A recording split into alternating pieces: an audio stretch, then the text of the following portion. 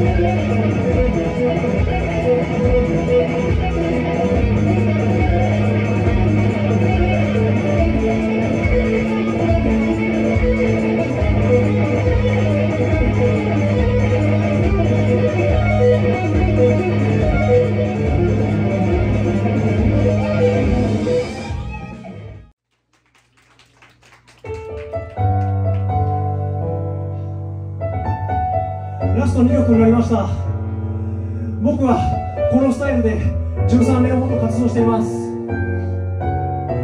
インストだからライブ見てもらって言ってライブ誘っても断られることなんて多々あったし悔しいことばっかの13年間でした。だからこそこの歌詞のない音楽を